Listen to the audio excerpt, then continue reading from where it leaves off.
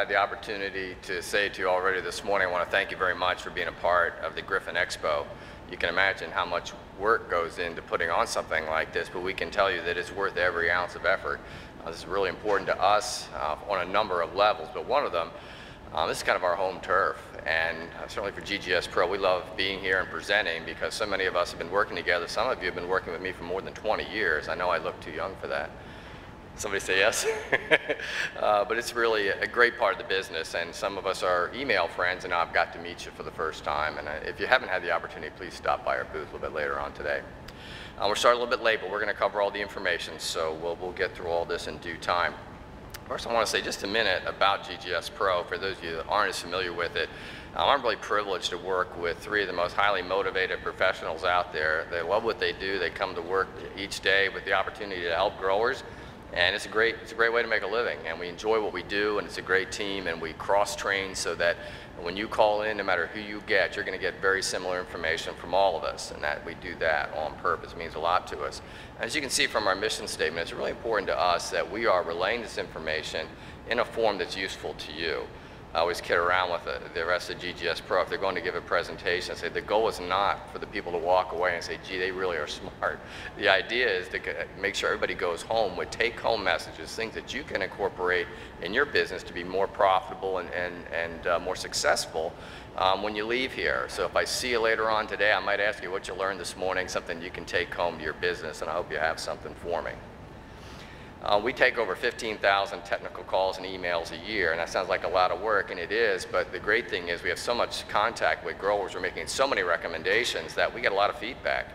And in a real sense, the growers help us to stay current, stay ahead of the curve, because we spot trends with pesticides that are failing, problems that are creeping up, long before it gets out in the public media, um, because we have such great rapport with all of our growers. So thank you for helping us to stay on top of it. Some of you have benefited from our technical bulletins, probably most of you at one time or another. We have over 200 in print, and we try to write them all the same way in language that will be useful and helpful to growers and not a lot of technical jargon. If you see technical jargon, you tell me, we'll, we'll fix it. And we have a digital library of over 2,000 digital images, some of which that were sent to us by growers, others are ones that we took ourselves, but they help us in diagnosing um, uh, plant diseases and insect problems and other physiological disorders. So it's a very important part of the work we do, and you'll see them in our presentations as well. All these services, by the way, are free of charge to Griffin customers. If you're a good customer of Griffin, you're getting all this for free, and we're happy to provide that. What I wanted to start out with today is I want to spend a little bit of time. Know, last year we introduced some new pesticides, and they had just come out and become registered right around the time of the expo. So we were able to tell you a lot about what we had learned of them. But now we've had a year for them to be out and the growers to be using them. We've learned a lot, and we'll tell you where they've uh, met or exceeded expectations or where they didn't quite get over the bar. And as always, you know, we call them the way we see them. Um, we, we just want to make sure we're making the best recommendations we can to you and passing along the best information. Sultan is a miticide, and I would say that if you are, were long, growing long enough ago, did you remember the introduction of Avid and how that kind of turned mite control on its head when it was introduced many years ago? This is the first miticide since then that has that kind of effect. It's a brand new mode of action. It is certainly head and shoulders right now above everything else that's out there as far as miticides go. So we like Sultan quite a bit. There's some things to know about it, and we'll, we'll kind of catch that as we go through. You can see that it's labeled for a wide variety of sites, and not only greenhouses, but interior scapes and, and outdoor uses as well. Pretty much, for most of our growers, you should consider it a one-trick pony. It controls two-spotted spider mites and does it extremely well, but it doesn't get broad mite and cyclamen mite and some other mite pests. So um, for two-spotted spider mites, nothing better, but it's pretty much a rifle shot rather than a, a shotgun when it comes to mites. It does not have translaminar activity. However, it does have contact activity for at least three weeks, I'm going to say, based on, on our growers' um, expectations, what they've been seeing out in the field. And it controls all the life stages, including the egg, which is pretty rare. So that's another valuable part of Sultan.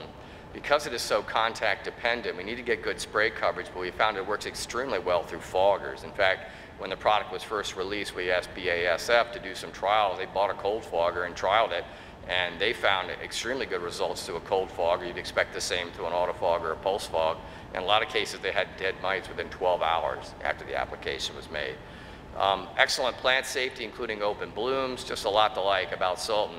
Bear in mind, you know, that spider mites have a very well-deserved reputation for overcoming miticides uh, due to resistance, and so you'll see that on the salt label, you're only allowed to use it twice per crop and it's not over plant safety concerns, it's over uh, resistance concerns. I'd like to be able to stand up here five years from now and tell you the Sultan is working just as well as it is now, and it's going to take the whole grower community following those rules and going through the rotations to make that happen. So we'll be glad to help you with your rotations. Expire is another new product that came out last year, and a couple interesting things here. One is a, is a dual active ingredient product.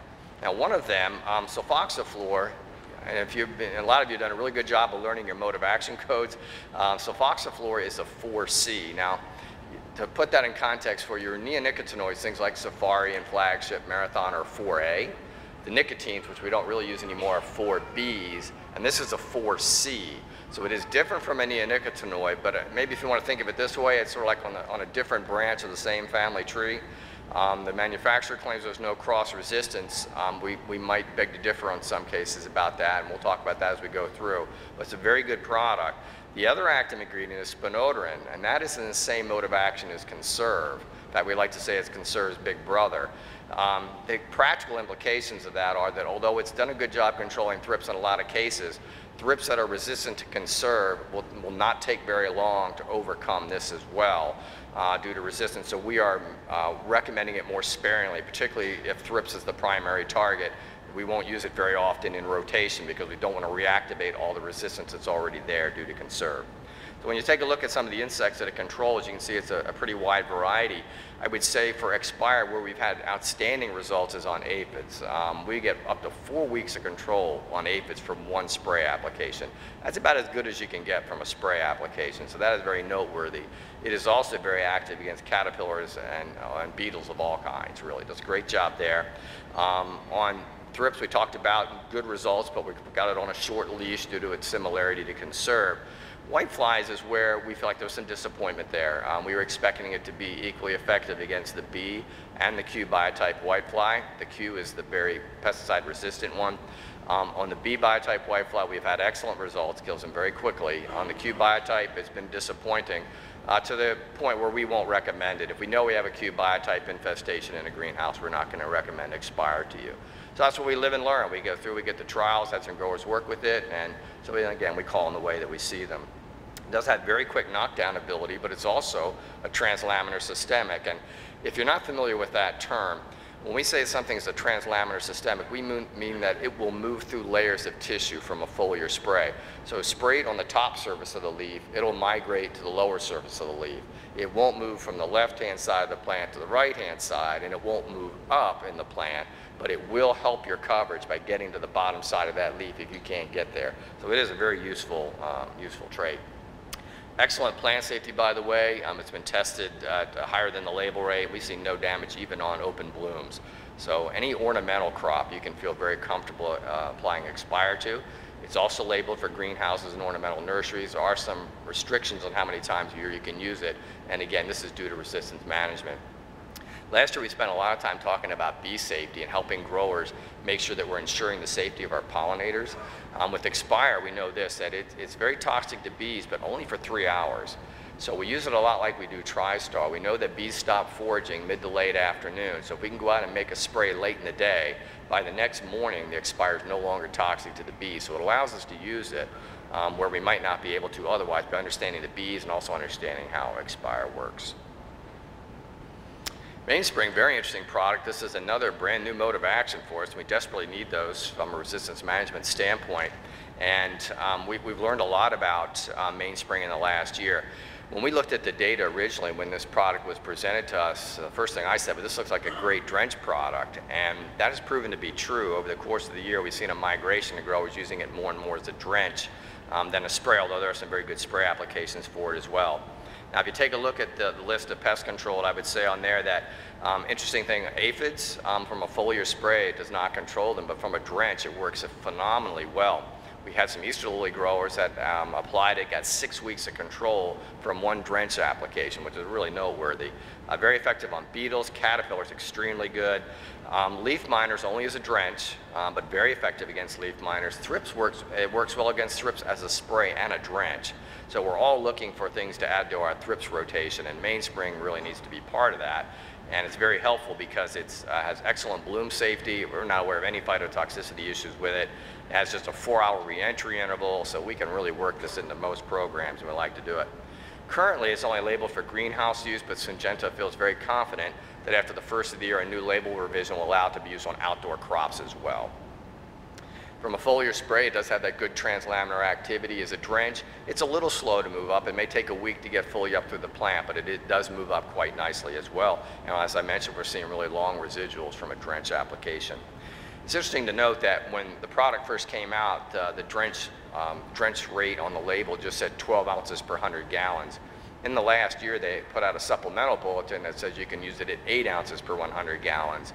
And the research that we saw indicates even at 4 ounces per 100 gallons, it does a good job against a lot of pests. So depending on the pest and the length of residual activity that you need, we may recommend 4, we may recommend 8. Uh, we have yet to recommend 12 ounces per 100 gallons. One is pretty expensive at that rate. I'll show you a chart in a minute. But also really doesn't seem to be necessary um, to, to put that higher rate on there. Spray rates are all over the lot. The label says 1 to 16 ounces per 100 gallons, like go fish. Um, we, we, found that for most uses, 4 ounces per 100 gallon works quite well. We'll use 8 ounces per 100 gallons for thrips if we're really trying to lengthen our longevity and how long the control will last. Good product. We like it a lot. Here's a, uh, a, chart, you know, and sometimes we kind of hesitate to share um, cost and use information because the price of the product, you know, is one factor, of course, we have to consider, but sometimes we don't, we can't always go by that. We have to take a look at efficacy and length of control to decide how good a deal it is. But I think it brings out a couple of interesting points. One is by reducing that rate down on the mainspring drench, it makes it competitive with the other really good drench products that are out there. And the other thing I think is interesting, um, and we'll mention this a little bit later on in the presentation, there's a lot of confusion about drench volumes. Um, there is not one standard drench volume that you can use that covers all products. In other words, how many ounces of drench solution do I put on a 10-inch hanging basket? And this chart really shows the fact that if you look at mainspring's cost for the 10-inch hanging basket, it, it, goes up considerably compared to the other products because that label calls for a higher drench volume in a 10-inch hanging basket than the other products. So at a 6-inch pot, they're almost the same, but you get up to a 10 inch hanging basket, it becomes more expensive. And that is due to the label mandated drench volumes. So it's amount of active ingredient plus the drench volume that gets us to our final cost. we'll be happy to talk that through with you. Now, Rycar is something that really surprised us. Um, we had very little data on Rycar when it was first released last year because it's a company, uh, it's a product from a Japanese company that an American company got the rights to. So it didn't go through our normal channels where we saw a lot of research being done on it the years leading up to its release. So we were kind of hesitant to recommend it very much. I'm happy to report that for aphids and whiteflies, Rycar is doing a phenomenal job. Last year, we cautioned you that there was no approval to use Rycar on poinsettia bracts. We did not use it, but research was done on over 100 varieties of poinsettias on the bracts, and it didn't damage any of them. So we very, feel very confident about not only the plant safety, but the ability of Rycar to control aphids and also the B and the Q biotype whitefly. Right now, this is one of our best aces in the hole for the Q biotype whitefly. It's getting very difficult to control them due to the lack of options that are out there, but Rycar is doing a phenomenal job. Um, it does stop feeding very quickly, which is kind of nice when you have things like aphids that can be transmitting viruses. The feeding stops right away. Sort of like Endeavor, we'll tell you that it might take three to five days for the insect to actually dry up and die, even though the feeding stopped right away. And something similar to that would be true of Rycar as well. As far as other labeled pests, it does work very well on chili thrips, but not the western flower thrip. Uh, leaf hoppers, mealybugs are on the label, but it just has not performed well enough, so we do not recommend it as a mealybug product. Some efficacy data, I know charts early in the morning, even with two cups of coffee can get boring, but we'll go through this pretty quick. And the Rycar is the blue line, and at the label rate, you can see that going out 21 days, three weeks after application, still nearly 100% control of the Q type whitefly. There's really not too many other products out there that are going to come close to matching that right now. So we feel like that's uh, really good looking data. Now in fairness, the orange line is Safari and they use it at a rate halfway between the low and the high rate. We always use the high rate, so it might have done, Safari may have done a little better had they used the higher rate for that. Um, Rycar can be fogged as well, which uh, again, since it does have contact activity, and you probably know from talking to us, we are, are very big fans of the, um, uh, the fogger equipment, the AutoFog um, and the cold fog made by Dramm. We're big fans of that, and for really large operations, we also uh, recommend the Pulse Fog, which is the thermal fogger. And talk to us about it if you will. One, there's specials on them today at the show, but if you're interested in talking about fogging, we'll let you know how we support you in that. So it does a great job either way. Um, very good. A lot of you are using biological controls, and we're working with many of you on this. Rycar is safe over almost all the biocontrols and also very safe on bees. So a lot to like about Rycar in that regard. You will notice, like a lot of the new products, we're only allowed to make two applications per crop cycle, and that's due to resistance management. Emblem, um, I wonder how many of you use Medallion in your operations? Thought so. It's a great product, and we highly recommend it. Um, Emblem has the same active ingredient as Medallion, but it is in a what we call an SC or a, a water-based um, solution, so it's a liquid rather than the powder. And that, that's, there's some convenience factor there, but the real reason I think you might want to consider Emblem is labeled for a lot of vegetable transplants and some herbs. And we could really use a product like this, um, Medallion and, and Emblem, really good against botrytis. And that's a big problem is going to wintertime on the herbs. A lot of you get the stem canker, get losses from that. And also as a soil drench, it's very effective against Rhizoctonia, Thielaviopsis fusarium. So um, here's a way to, for your vegetable transplants and, and, certain of your herbs, we can use this product um, and you get all the benefits you're used to from Medallion. Hachi Hachi. Um, wasn't that long ago, that was kind of a cuss word around Griffin. Um, when it was the first product that was released, it was an EC formulation and it burned a lot of crops and we very quickly stopped selling it once our growers started to report the problems they had with it. It's been several years, but they have improved the formulation. It's now an, also an SC, so it's a water base, that thick petroleum base to it, and is much, much safer on plant material. A couple of our growers were kind enough to be involved in the trials before it was released, and they, other than um, nicking up some impatiens, they really, and we don't, definitely don't want you to use it on patients, it really did a very good job, not only controlling insects, but also in not damaging the crops. So uh, we have decided to start selling um, Hachi Hachi SC. Um, we think that the best uses for it are going to be for um, aphids. Um, it also does a, uh, it suppresses whiteflies. I don't think it's as strong, so it does a great job on caterpillars, but thrips is really the big reason.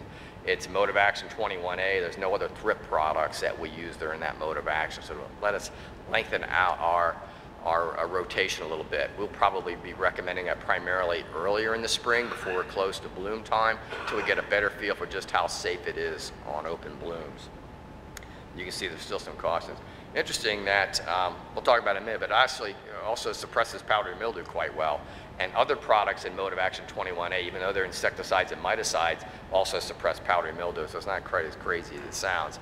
Um, here again, we've got another product that is going to limit the number of uses to twice per crop, so we have to use it sparingly, and I think we want to.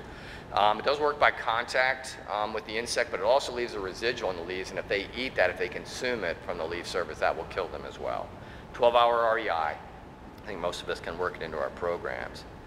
And here's the picture I do want to point out. I don't know why they do this. This is uh, suppressing powdery mildew on cucumbers. It's not labeled for edible crops, just ornamentals. In fact, ornamentals in the greenhouse. But I think maybe they use cucumbers because it's so susceptible to powdery mildew, and they got what they were looking for in that regard. But at the 13 ounce per 100 gallon rate, it actually does a great job on powdery mildew as well. A nice, a nice uh, side benefit. In the fact, you know that just like we're having trouble with insect resistance, we also have trouble with powdery mildew, botrytis resistance, and so it's nice to have a different mode of action to use on powdery mildew occasionally as well.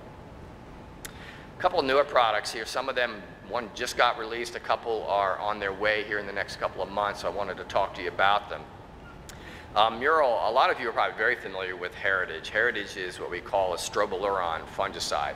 Strobilurins are actually they're um, synthesized from um, they're they're wood decaying fungus that have fungicidal properties, and, and they're all kind of in that class. And the unique things about strobilurins are they tend to have a long residual, so you can get multiple weeks of control from one spray. Uh, the other thing that's really notable about them, however, is that they tend to be only preventative. They're not curative, and certainly Heritage is in that category. Heritage does have one unique factor, and we talked about translaminar systemics and the ability to move from the top of the leaf to the bottom of the leaf. Heritage is unique it has what's called acropetal movement also. That means it moves up into new tissue. And if you think about this, if you have a product that might have a two-week residual, but if it doesn't move up into the new foliage as new leaves come out of the growing tip, they're now become vulnerable to powdery mildew or whatever we're treating for, and we have to retreat just to get that new foliage, even though the control's still good lower down the plant. Heritage moves up for a period of time into the new foliage, so its longevity is better than some of the, the competing products that are out there. So what Syngenta has done to overcome the fact that Heritage doesn't have, like the other strobilurins, does not have contact activity, they've added a new fungicide called Solatenol. Solatenol also overcomes another flaw of the strobilurins, and that's that they don't control botrytis very well. So Solatenol not only gives contact control for the disease that's already present, but it also adds botrytis control to that heritage package, which was missing in the past. So this is going to be out later on this year. If you're in New York State, probably sometime in the next century. Uh, but the, sorry guys, um, but it's uh, we expect it out probably certainly for next spring. It should be out. Another nice thing about it, you know, heritage is not labeled for vegetable crops but um, Mural will be uh, for vegetable transplants in the greenhouse. So that's another nice tool as well to be able to use a really great fungicide combination on your vegetable transplants in there. It'll also be labeled as a drench or spray, so it's going to pick up a lot of different diseases. You can see um, like most of your strobilurins, it is very broad spectrum. Works on uh, powder, well, with, with Solatenol out of controls botrytis, but also powdery and downy mildews, a lot of leaf spots and so forth. And as a drench, uh, it works on some important stem and crown area diseases as well. So be listening for Mural. I think that's going to be a, a, a big, big winner for next year. This product actually, when I first made the slide, I think your handouts may say coming soon. Um, OHP was kind enough to actually bump up the introduction date to make sure we had it for the expos. And so we want to talk about Triathlon BA a little bit. I imagine a lot of you are familiar with um, fungicides that use Bacillus subtilis. It's a bacteria that does a great job of controlling foliar diseases in particular. It also works on some root rot diseases too. Um, we use cease quite a bit. You'll see cease in our bulletins all the time and we continue to recommend it as a top right or top rate product. That's a different bacillus than the one that's in triathlon. So we get the advantage, we, will we'll still be recommending cease um, often, but we have a different a little bit different uh, product here, different bacteria to use to put in rotation, especially for our, our OMRI friends out there that are growing organically.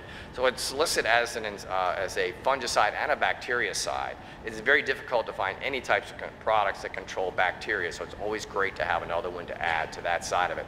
We see more and more xanthomonas and pseudomonas leaf spots all the time, and not just on perennials, but we see them in annual crops and vegetable crops in the greenhouse as well. So we're looking for all the help we can get there on, on that front.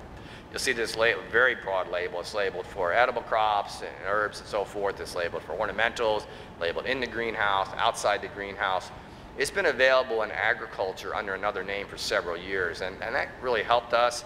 Um, because in agriculture, you know, they're just, if their crop yields aren't good um, using this product, they're going to stop using it. And it's continued to grow in popularity in ag, and now it's labeled for us as well. So we feel good about it. Um, on the label, you will notice that there are soil drench applications. To date, we have not seen any really data on that, so we're not, we're not mentioning that now other than to say it's on the label. Hopefully by this time next year, we'll have good data for it and let you know, what, you know how we feel about it as a soil drench product as a foliar spray we feel very confident about And You see it's a very broad list of labels, a lot like cease. Um, very, very broad um, applications there, and companion I should mention as well. So it's very broad spectrum, and like the others, the way it works, when you spray it on, it colonizes the leaf and stem surfaces, and it creates what we call a zone of inhibition. There's an area around it where uh, fungal and bacterial spores won't germinate. So you can see that it's going to be a preventative. It's already there. We need to use something else, or at least something else in combination with it. But very effective in that regard.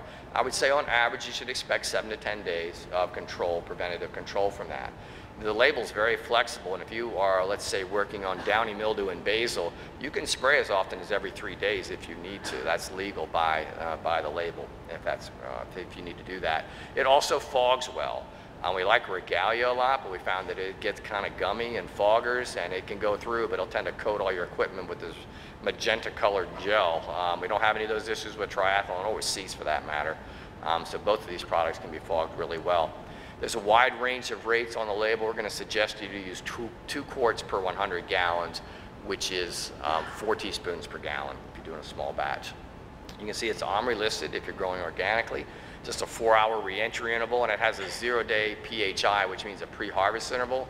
That means that you can um, treat it and then sell that product the same day that you treated it if you're growing edible crops to harvest the greenhouse. A couple more products a little bit further down the line, but if you're like me, I like to know what's coming, and it's good to have some encouragement out there. We're certainly looking for new modes of action. There's a, a product that's very interesting to us. It's going to be coming out through OHP. It's still in testing, so you see we're I originally said January of 2017. I think that that may get moved up into sometime late next year, but obviously they're doing their due diligence to do all the testing. But this is a pretty phenomenal product. It can be used as a spray or a drench, and you can see major pests, including aphids and whiteflies, and heaven knows we need new whitefly products. And it really are, even on aphids, until these latest introductions, we are getting pretty thin on effective products there as well. So we're really looking forward to this product coming out. It mentions that acropetal movement, in other words, moving up into new tissue after it's been applied, which really helps the longevity of control as well. Of course, a lot of our insect pests are going for the youngest tissue anyway, so it's great that it's moving up into there. So expect good things out of this product. Syngenta has a product that will be out sooner, and it's got two active ingredients in it, and again, it'll be used as a spray or a drench, and it's going to uh, give very good plant safety. Uh, we expect uh, uh, a short REI in all likelihood, and it's going to be a great product for aphids, thrips, whiteflies, and some others as well. So a little further down the road, I want to let you know there is some, some help on the horizon in terms of new products. I mentioned um, in the beginning of the presentation when we were talking about Sultan, uh, the new miticide, how difficult it is to control mites with miticides right now. Once you get away from Sultan, there's still some good miticides out there, but resistance has taken a chunk out of almost all of them, and some of them are really just totally ineffective anymore. So we really welcome the addition of Sultan, but to be honest with you, it, what has really done, it has sharpened our game on biocontrols, and a lot of you, we, a lot of you are using biocontrol now in spider mites, or you at least talk to us about it. So I wanted to spend a little bit of time talking about it for a couple of reasons. One is I think, you know, it'll only be a, a matter of time before we're, we're back in the same boat without effective miticides again. And for a lot of us, I think what we really need to do, we need to have a success. We need to have a win with biocontrol. And spider mites actually is one of the easier um, pests to control with beneficial insects and mites. So I think it'd be a good place to, to talk about it. And by all means, stop by the booth or give us a call and we'll get in more detail with you. So as, as we mentioned a couple times today, that resistance is really a big deal. If you ever wonder what kind of keeps GGS Pro up at night, it's pesticide resistance because you know we, we feel obligated to keep, give you good rotations that work well, and it's getting harder and harder to do that. We're not in despair, but we got to be really careful.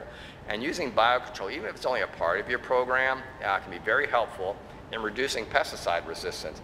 Um, I have one grower that's doing a very good job with their biocontrol in their greenhouse, but come May 1, temperatures get warm, the pests start reproducing faster, and he starts bringing in material from other houses, he, he reverts to spraying. And so you're doing a great job. Uh, rather than starting spraying in January and February, you're not spraying until May 1st. So you use a lot less pesticide, there's a lot less resistance pressure coming up, and you can spray when you need to at the, at the end and, and still do a really good job. So um, we don't have to go 100% biologicals to consider it a success. So um, there are compatible pesticides available. We're going to talk about that a little bit later on. The fact that um, GGS Pro has compiled a database that allows us to know if you are using biocontrols in your greenhouse and the need to spray comes up because one pest is getting ahead of the predators, in many cases there is a pesticide that is safe over the other biologicals you're using so it can go after that insect or mite that's getting out of hand without blowing up the whole biocontrol program. And that's something I don't think you'll find anybody else that has this level of information that GGS Pros accumulate. And it's part of our way of, of helping you to be successful with biocontrols.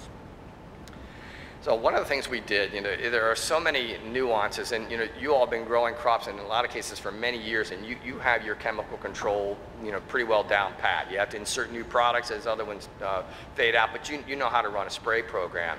For a lot of you, a biocontrol program is new, and it does seem daunting at first. So what we tried to do is accumulate all the information that a grower would need into one place. And we have what we call our quick sheets, and they are in the, the reference guide, by the way, and the updated ones will be in the, in the new reference guide coming out in January, the fourth edition.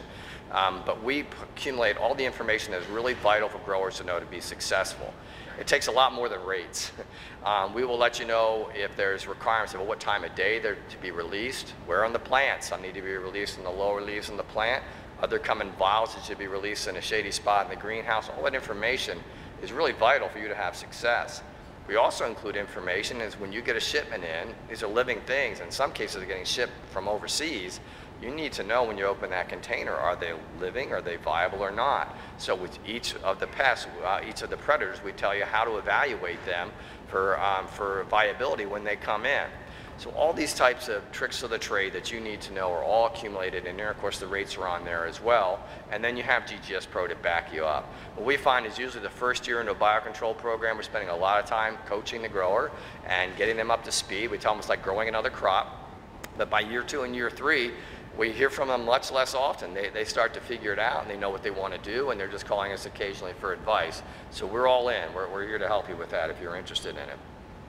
So talking about spider mite control, I kind of want to tell you about some of the good guys. We talk about the bad guys all the time. Um, persimilis, I, I kind of liken them to the Marine Corps of BCAs. I mean, they show up and they start running all over the plant. They eat every mite in sight, the eggs and everything else, and they, they are, are fast and on the move. One of our grower friends, the first time he received a shipment of persimilis in, he was talking to me on the phone. I guess he was kind of fidgeting with the cap, and all of a sudden he says, I got to go. I said, what's the matter? And he says, they're coming up my arm. I loosened the cap too much. I had to run out and shake them off in the crop. But the shows up ready to work. And one of the things that's unique, we represent Syngenta Bioline and some other companies as well. Syngenta Bioline is the only company um, in the United States where you can buy persimilis that are reared here in the U.S. They rear them by the billions in the strawberry fields out in California, and we can ship them overnight to you. And it's a really big advantage. One, it keeps the cost down, but you get mites that have just come out of the, the insectary, and they are ready to go to work when you get them. Uh, they, they work best on smooth leaf things, and a lot of you get tropicals up from Florida.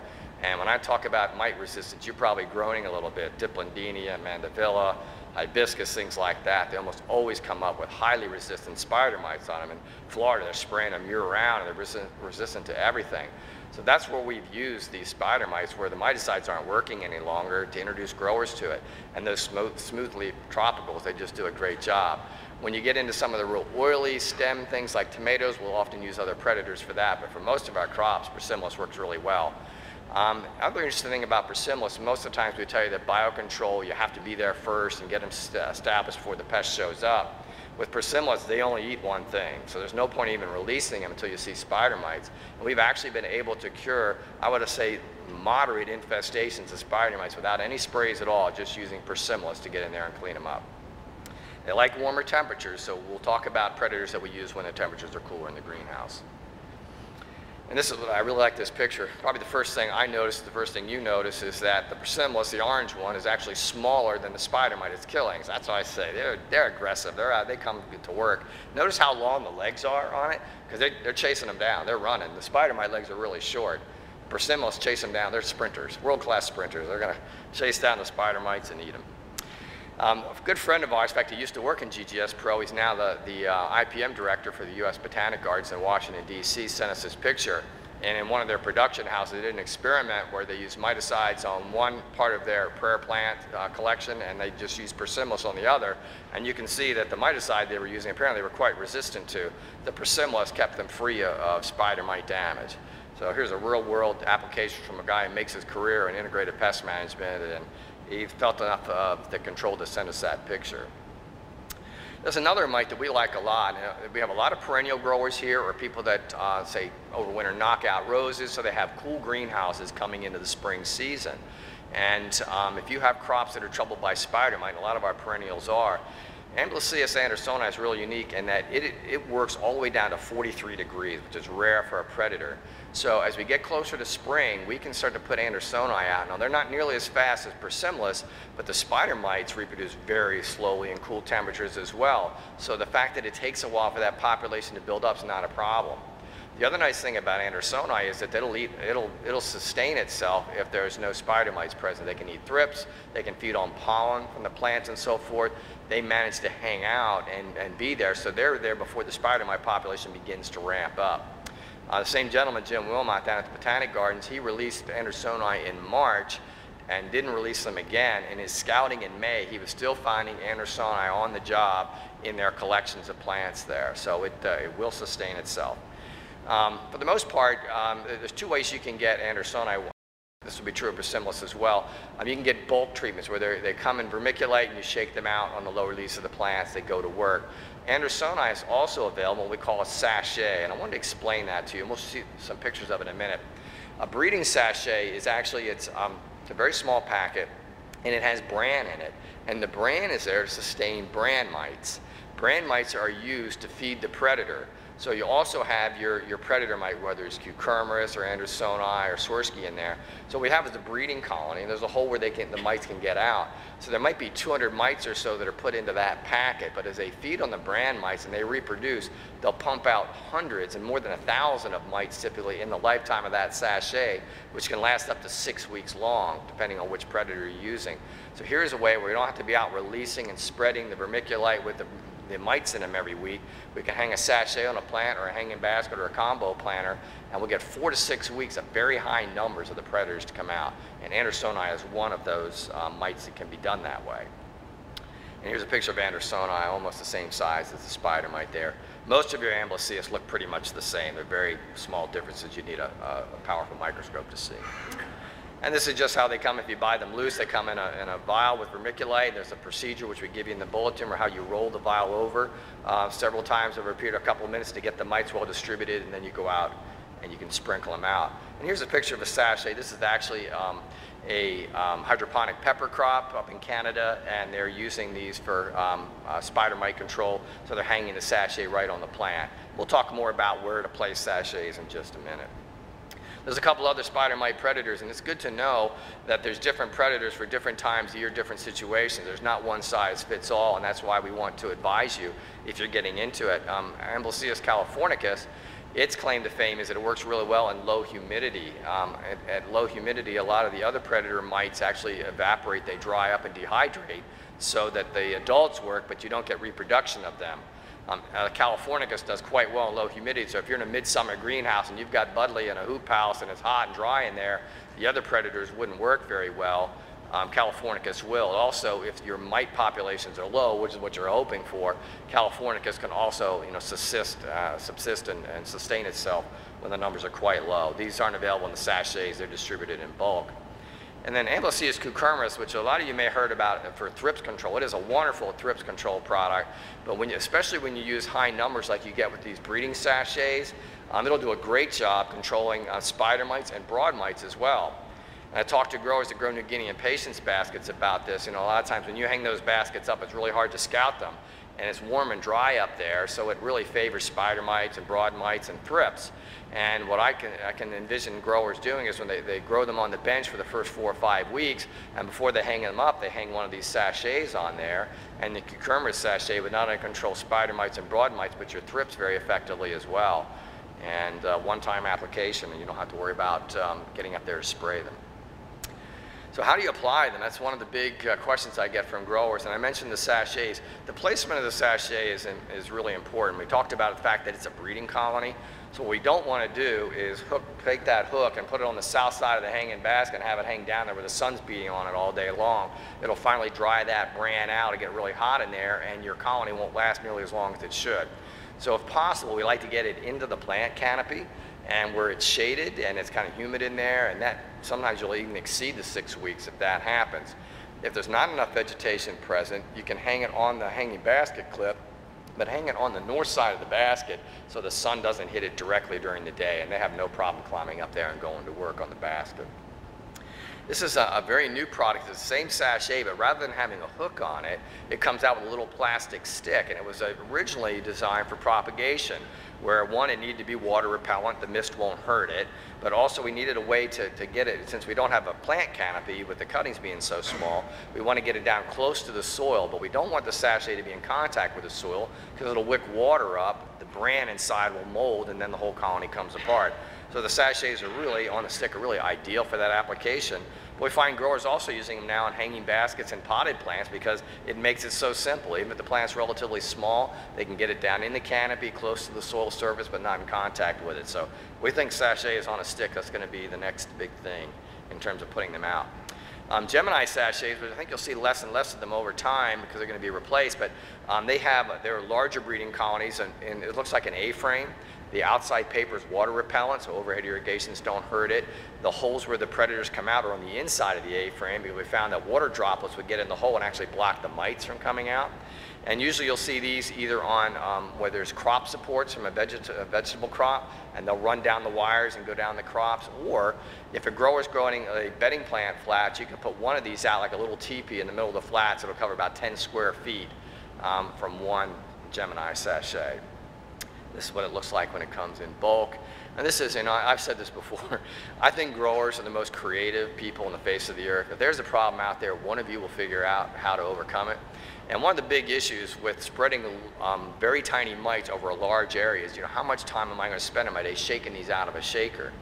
Well, growers came up with this. It's a, it's, it's a uh, battery power. I laugh because I think it's so cool. It's a battery powered leaf blower. And you can see out in the barrel, they cut a hole in there to put a little petcock in there and there's a little shut off valve. And that, what you see there, mates up to a two liter soda bottle.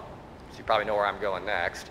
They take these mites packed in vermiculite, put them in the two liter soda bottle, and they just let this thing idle. It'll spit out the mites with the vermiculite for about 10 or 15 feet out of the front of the barrel, and they walk up and down the aisles of the greenhouse and they put the mites out in no time.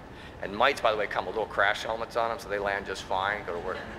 Um, they really do quite well. Um, we don't even up the rates. They, they survive it, and they are very hungry when they hit the ground, and they go to work. I've even had growers tell me they'll put, tip it up and they'll hit their hanging baskets with them too. I think it's a better idea to put the sachets on the hanging baskets, but just show you how versatile that is. So again, a grower ingenuity at its best. I don't think it's patented, so you can use it. We'll help you make one.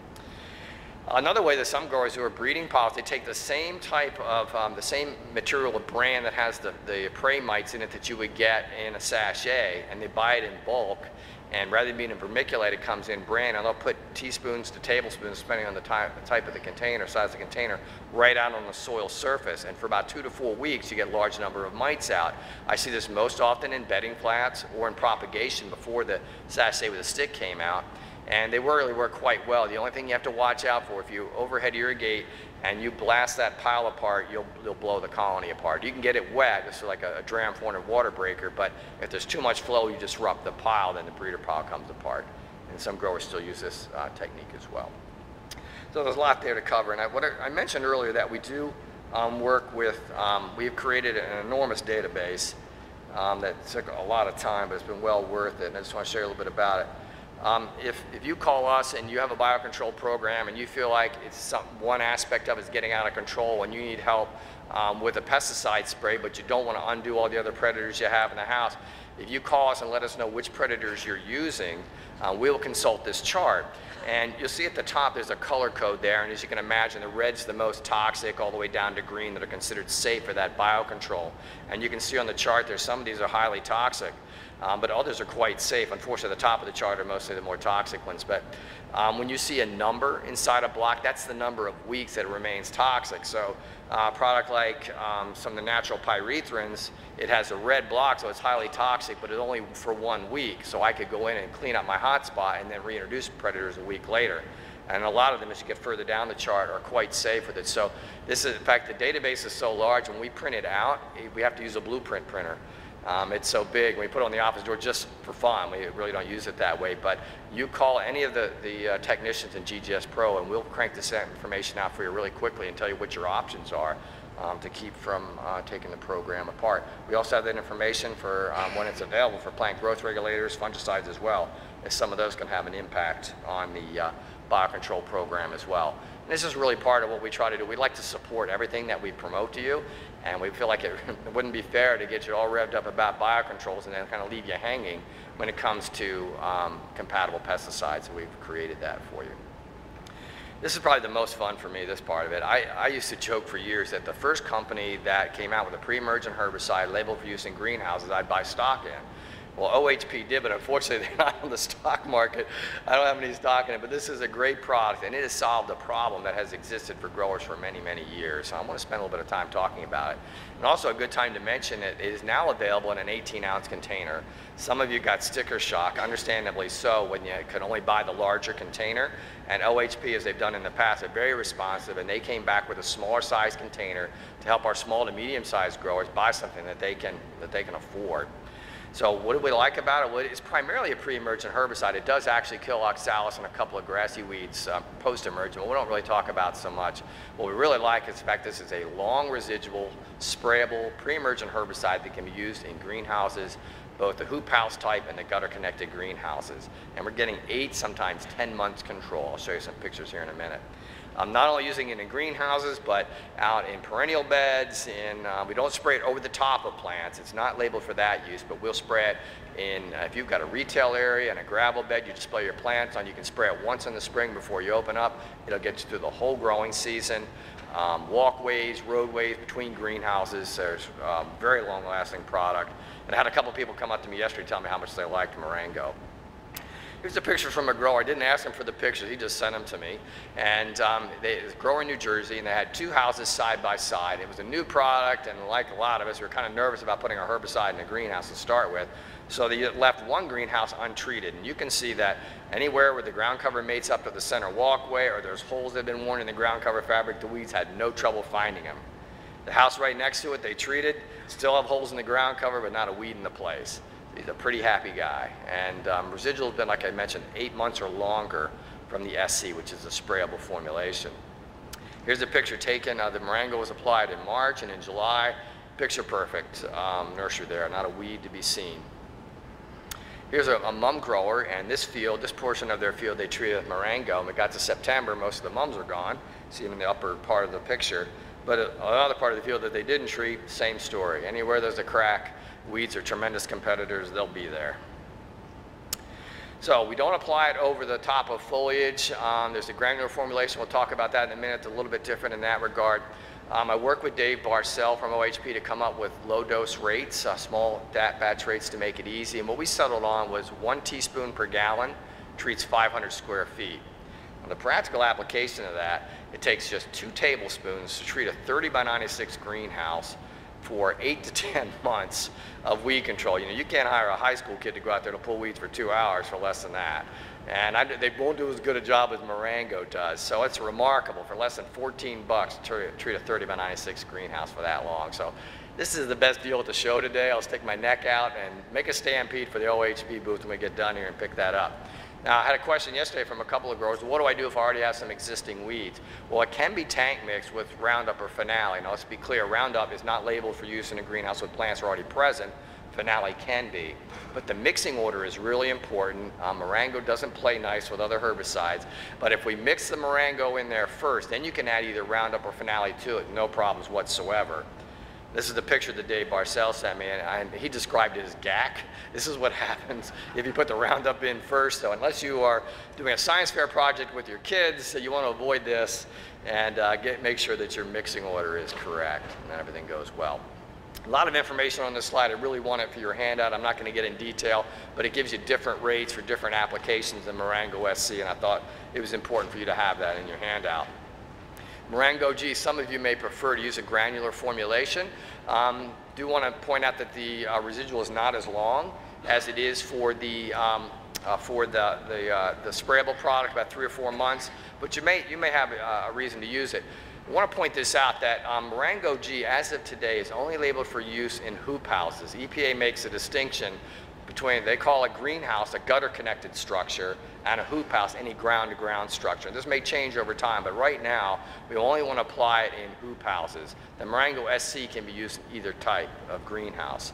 Um, one of the things that is noteworthy about the Marengo G is there are some over-the-top plant uses for it. You'll need, we need to consult the label for that.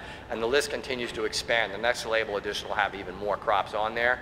You can use it over the top of a lot of dormant perennials before they emerge from the soil. And so that might be a good application to use the granular even though the residual is not as long as the SC.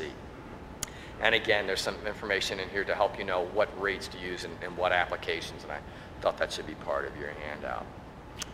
Something really neat that uh, we've also come up with to help you, um, a lot of you use Kontos and or other drenchable insecticides, and some of you um, have called up almost in tears trying to figure out the drench label for Kontos SC. I like to tell people it says 1.7 ounces, treats 1,000 six-inch pots, go fish. You're supposed to figure the rest of it out.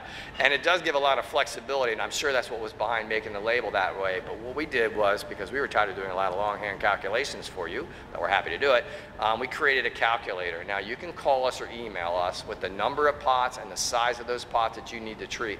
And while you're on the phone with us, we can quickly do the calculations for you and give you the recipe for it. You can see from here that we can, in this example, I use six inch pots. I could use any size.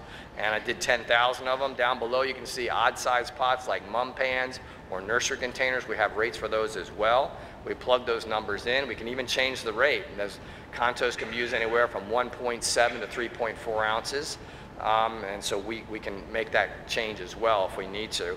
And then what you get printed out, this looks kind of simple, there's only one pot size, but it tells you the amount of water I need and the amount of Kontos I need to run through the injector at 1 to 100, and then the far right column tells me the number of ounces per pot to apply. We have this calculator that works for Safari, for Marathon, for Flagship, really any drenchable insecticide.